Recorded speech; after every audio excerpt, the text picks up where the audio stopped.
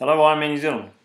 How are you? Um, sorry about the backdrop. Uh, I probably could have given you something a little bit better than uh, my backyard, but uh, considering I was only in Hawaii watching the Ironman um, just on the weekend, but uh, terribly sorry I haven't got a view of um, Kailua Bay for you to watch this video. But anyway, so happy 35th birthday. Uh, what can I say? Um, I certainly have been watching this race from day one. Uh, I was a young fella when it first came out. Then I went into volunteering for a few years, working on aid stations along Cascades Road, Te Rakau Drive, uh, back on the old original Ironman course. Then I worked as a um, more around the, the matter, knowing eventually I'll be doing it as an athlete. And fortunately, in 2004, I was able to line up and do the race. Uh, unfortunately, I would like to have been able to have raced it in, in Auckland. Uh, one in the earlier years, but I was too young, and uh, my mother wouldn't let me. So, 2004 was my first first Ironman.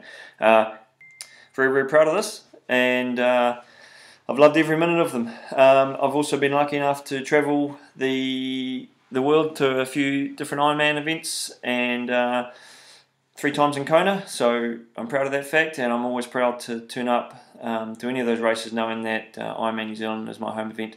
Um, what have I got in the way of memorabilia left? I've still got a little bit of stuff, but here's my 2004 towel. Still going strong. Still wear, it, still use it at the pool. Uh, I got a few t-shirts floating around. They don't really get worn too much, but uh, I've still got them in the garage. There's uh, some good memories, and I've still got some of my old race numbers. Um, and yeah, it's just amazing that it's got this far. There's some great memories from the races. Uh, I remember watching um, 19. Um, 90 when Ken Glah Polikuru had sprint finish. I remember watching the year Dirk Aschmoneit broke the course record. Um, I remember watching Scott Balance when he won his first New Zealand Ironman, and uh, so many more memories from, from those years. And of course, since we've been in Taupo, uh, I've watched every one of Brownie's wins and um, many of the other races um, as well. And uh, there are some some great races that I've watched over the years.